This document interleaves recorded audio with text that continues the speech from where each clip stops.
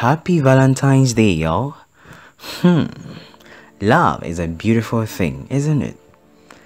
But before we move into today's thrilling and exciting story, kindly show us your love and support by subscribing to our channel and also give this video a thumbs up.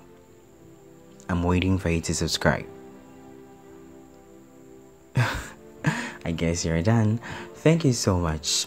Let's move straight into today's special Valentine's Day episode. Enjoy. Abba, after returning home from Cape Coast, suddenly fell in love with her brother's friend Joe, who was a fitting mechanic. Abba's dad was a well educated man who wanted the best for his children. Abba was at a marriageable age, so soon after her return, the town councillor came to ask for her hand in marriage for his third son, who was a lawyer. But unfortunately, Abba was already truly in love with Joe. My dearest Joe, I haven't slept all night thinking how wonderful you are, Joe. I want you to be mine always, and I will be yours forever. My love for you is 99 3 quarter percent pure.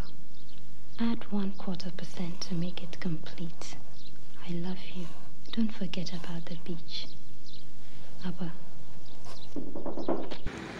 Her parents weren't in support of the fact that she was well educated and yet still wanted to marry a Mephitin mechanic.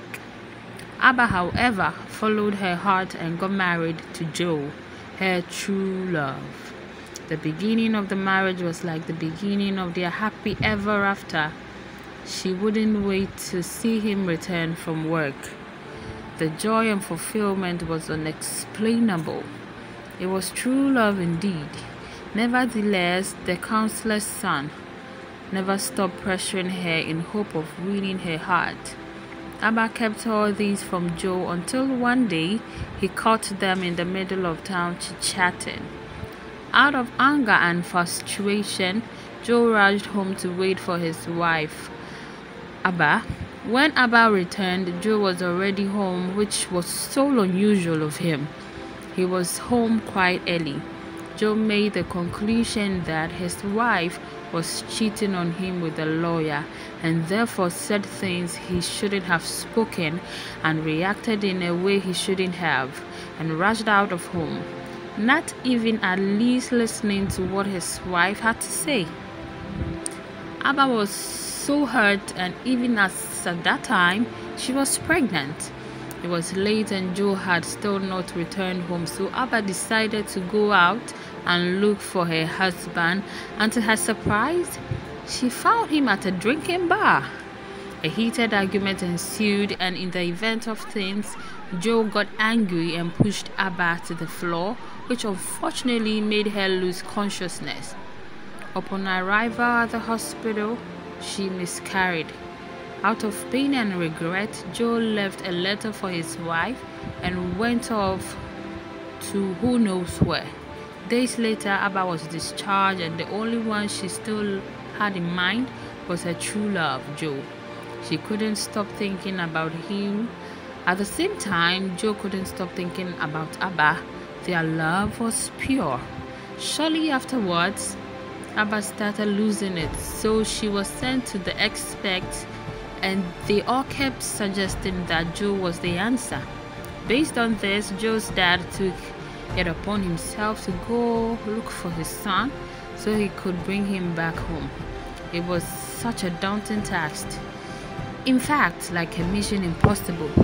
Days soon turned into weeks, weeks into months, and months turned into years.